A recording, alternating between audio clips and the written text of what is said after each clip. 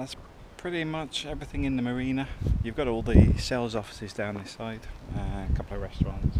Um, this is the houseboat that Ubi loves. Um, not sure how much it is, but I'm sure it's not going to be cheap.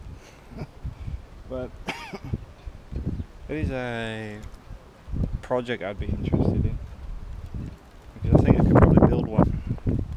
Because it's mainly the, the base that would be the issue for me. Find things like this, it's all about balance.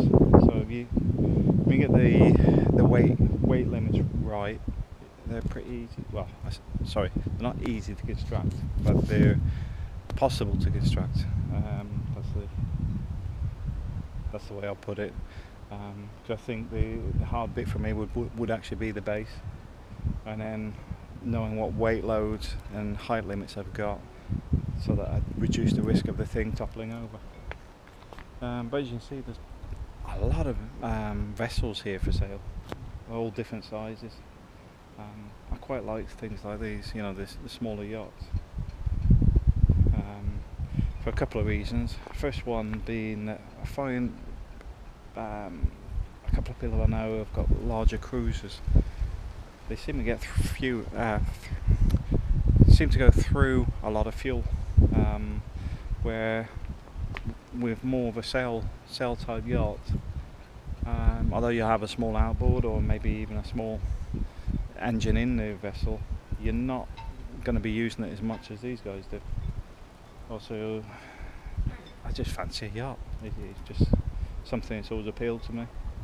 Although, last time I did any sailing, I was about 14, 15. So I'd have to invest a lot of time and money into a new hobby if I decide to go that way. Which won't be this year, so I won't really worry about it this year. But I was thinking about starting a little fund up. Because I'm sure something like this will probably set me back at least 10,000 euros. And then obviously the moorings.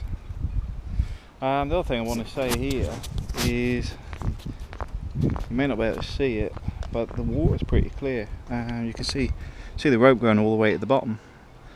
There's some rocks down there, and there's some small fish down here. You see them? There's small shoaler fish. There's some bigger fish right at the bottom there. You might not be able to see them.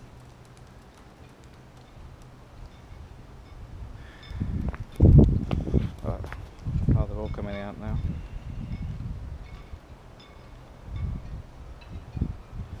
Well, this is, this is a nice place to take kids just for a walk round.